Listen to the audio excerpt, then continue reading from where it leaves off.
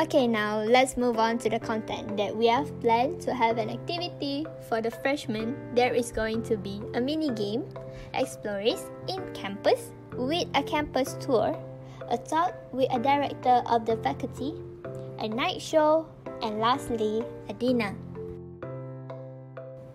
The goals of the programs are 1 is to provide an opportunity for students to be more active and evolve in the activity organized at the university level.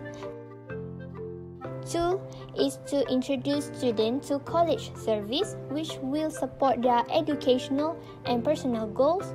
3 is to provide a welcoming atmosphere for students and families to meet faculty, staff, and existing students as well as other new students.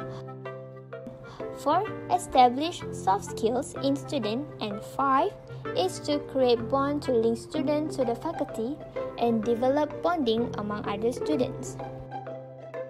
For our objective, there is five objectives for our program. First is to strengthening the ties in relationship and communication between association in university. Second is to build a confident and highly motivated in the student. Third Third is to open the mind of the student regarding the lifestyle of the student. Fourth, student will become more familiar with the campus environment. And lastly, student will feel confident and excited about their decision to attend university at UTM. The program target participants are new students and existing students of property management. And here is the tentative for a one day program. We started at 9 a.m. in the morning until 11:30 p.m.